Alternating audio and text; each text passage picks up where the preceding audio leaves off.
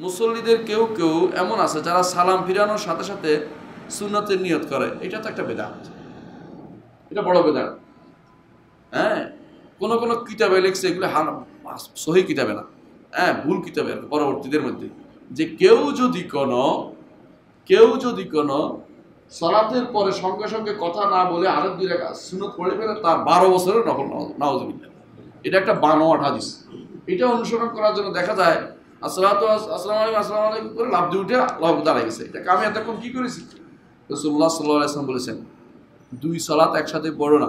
মাঝখানে যেন থাকে, মাঝখানে যেন বদল থাকে। স্পষ্ট উল্লেখ করেছেন, জিকির তাকে বলেছেন, এই জন্য এতগুলো জিকির রসুল্লাহ সাল্লাহ দিয়েছেন। পনেরো ষোলোটা জিকির, পনেরো ষোলোটা জিকির। এগুলি দিয়েছেন, দোয়া দেন নাই, জিকির দিয়েছেন। এগুলি শেষ না করে আপনি উঠার অর্থ হচ্ছে, রসুলের সুন্নতকে অবজ্ঞা করলেন।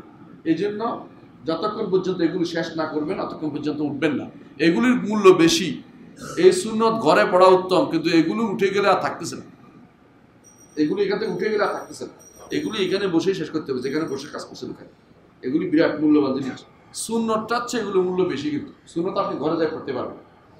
কিন্তু এগুলো আর পাচ্ছেন। এগুলো এই জন্য খুব গুরুত্ব বেশি।